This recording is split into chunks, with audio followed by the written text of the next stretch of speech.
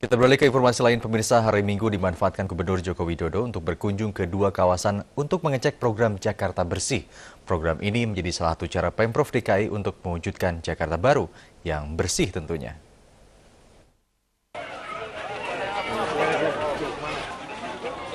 Salah satu program yang diusung untuk pembangunan Jakarta adalah Jakarta Bersih. Program ini serius digalakan oleh Gubernur Jokowi Hari ini Jokowi kembali meninjau kerja bakti di kawasan Pekojan, Tambora, Jakarta Barat. Memang setiap minggu warga diminta untuk kerja bakti membersihkan lingkungannya. Tidak hanya warga, Jokowi juga membentuk relawan-relawan program Jakarta Bersih yang dimaksudkan untuk membantu warga.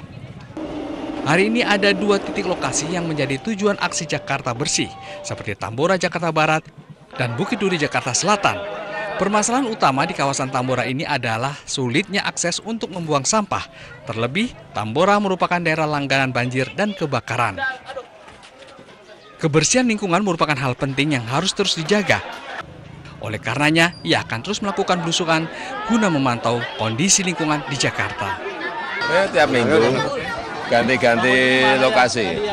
Memang lokasi-lokasi yang kita anggap paling berat lah itu ya, masih kotor, masih iya. belum tertata. Kayak di sini tempat sampah yang belum apa tempat pembuangan sampah sementara yang belum punya lokasi. Nanti yang seperti itu yang kita carikan jalan keluar.